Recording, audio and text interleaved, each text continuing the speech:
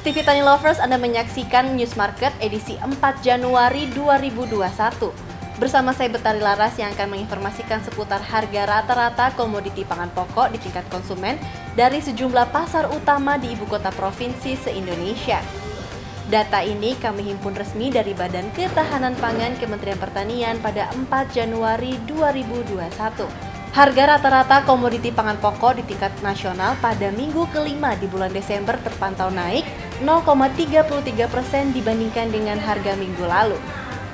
Ya, kita mulai dari harga beras medium yang pada minggu kelima di bulan Desember berada di angka Rp10.871 per kilogram.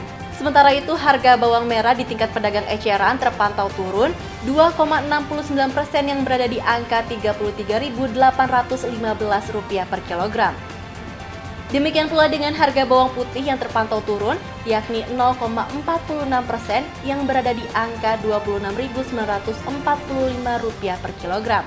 Sementara itu, cabai merah keriting berada di rata-rata Rp53.313 per kilogram dan cabai rawit merah berada di angka Rp59.132 per kilogram.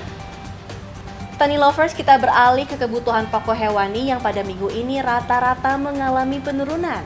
Harga daging sapi di tingkat pedagang eceran terpantau Rp121.732 per kilogram. Daging ayam ras Rp33.843 per ekornya Sedangkan telur ayam ras dibanderol dengan harga Rp27.714 per kilogram. Kebutuhan lainnya seperti gula pasir lokal, nilai jual rata-ratanya adalah Rp13.219 per kilogram. Sedangkan minyak goreng curah berada di angka Rp13.230 per kilogram. Demikianlah News Market pada hari ini, kita bertemu di News Market selanjutnya.